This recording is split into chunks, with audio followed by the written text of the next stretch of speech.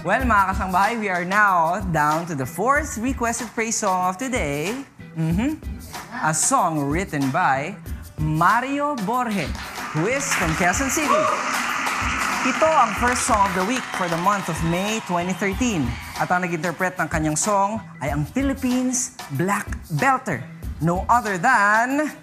Monsur del Rosa... Ay, hindi, hindi, hindi, hindi, hindi, A Philippines black belter, no other than Mau Marcelo. Yes.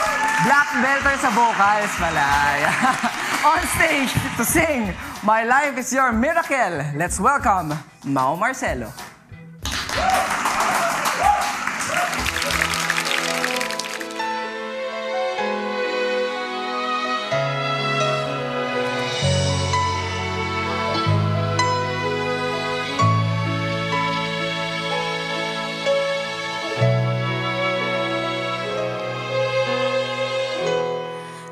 The darkness, you've caught me by surprise.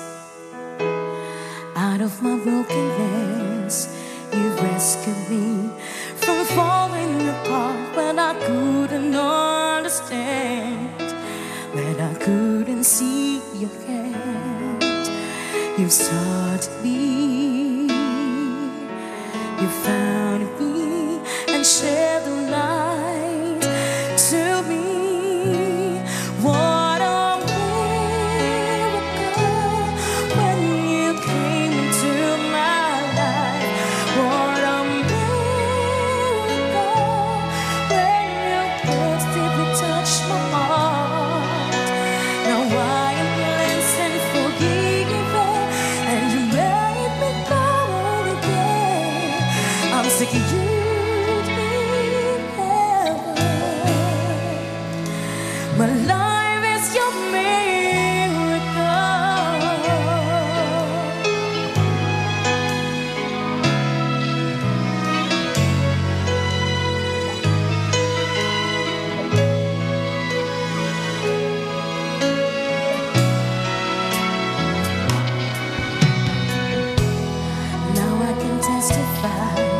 you're a life changing God.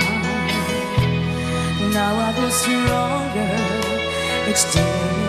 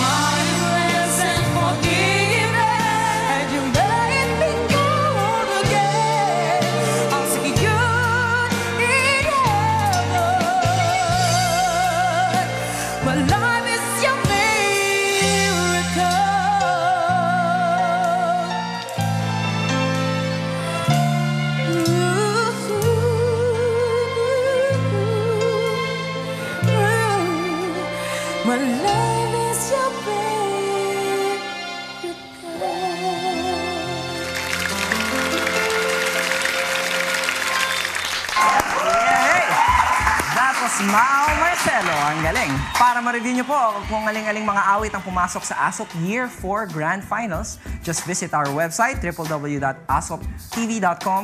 Well, so far, we have nine grand finalists. At tatlo na lang ang hinihintay natin to complete the list. Mga kasangbahay, sumali na kayo. Dahil pagdating ng September, nako, grand finals na sa Araneta.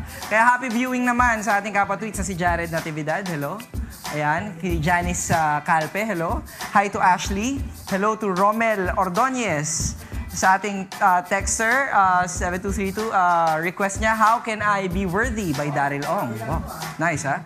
Uh, hello to Ronnie uh, Ebio of, uh, ano yan? Bacon. Bacon. Kala ko bacon, sorry. Bacon sa Sorsogon. Ayan, ginugutom na kasi ako. Purihin ka ng uh, aking luha. Hello, by, uh, sino yan? Jason Fernandez pala, ang interpreter niyan. Oo. Well, mga kasangbahay, ayan. Hello sa inyong mga nanonood. The fifth and final song on my playlist is a song requested by our kapatweet, Marilyn Yumul. This was interpreted by a male singer who was taught by his mom to sing Kastilyong Buhangin at 5 years old. Kung sino yan, abangan niyo sa pagbabalik ng Asop by Rico.